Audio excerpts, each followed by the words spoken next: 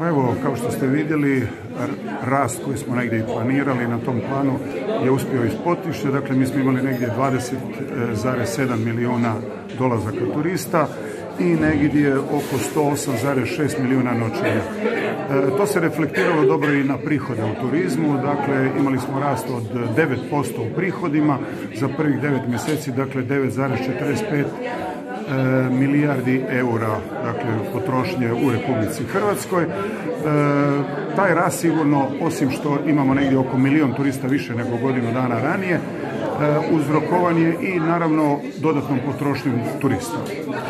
Kad kažemo 9,5 milijardi eura, ste rekli, eura, prihoda, da li to se odnosi na promet? Mislim da ljudi ne, ne misle da je to ono neki gotov novac koji ostaje negdje u nekakvoj blagajni. Je, to vam je, dakle, radilo na temelju ankete. Dakle, turisti koji su prelazili granicu bili su anketirani i pitalo ih se koliko ste potrošili u Hrvatskoj vaša obitelj po osobi.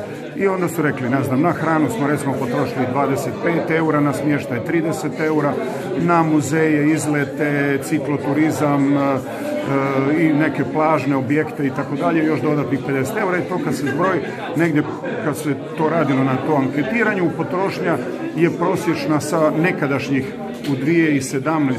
79 eura došla na prosječnu potrošnju 97 eura prosječna potrošnja. U hotelima ta prosječna potrošnja, jer hoteli malo više koštaju, dolazi na 144 eura, u privatnom smještaju na 92 eura, a u kampovima 62 eura. grad Zagreb je imao... Grad Zagreb ima najveću prosječnu potrošnju, negdje oko 200 eura, iz razloga što naravno u gradu Zagrebu ljudi koriste više muzeje, idu u nacionalni park recimo Plitvice, koriste više gastronomije, dakle više se troši i ta tendencija je i na kontinentu, recimo u Slavoniji, negdje oko 187 eura u Slavoniji, nešto malo manje u sjevernoj Hrvatskoj. E, u, u, tu, e, u tih 200 eura u gradu Zagrebu je uključen i smještaj? I smještaj, naravno.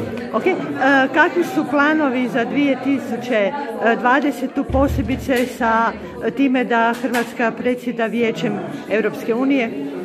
Pa naravno mi očekujemo jedan blagi rast turista, kako fizičkih pokazatelja, tako i prometa negdje rast turista negdje oko 3%, ali najbitnije da vidite da potrošnja prosječna raste. Mi očekujemo negdje rast između 3 i 5% e, prosječne potrošnje po turistu, tako da i daljnji rast na bitno je reći zbog kvalitete koja se podiže, hoteli, privatni smještaj, kampovi idu svi na 4-5 zvijezdica, podižu se lagano, cijene korigiraju se i naravno turisti sve više koriste i gastronomiju i nacionalne parkove i muzeje, Dakle, daleko više se troši nego što je to bilo u 2016. 2017. Ok, hvala lijepa.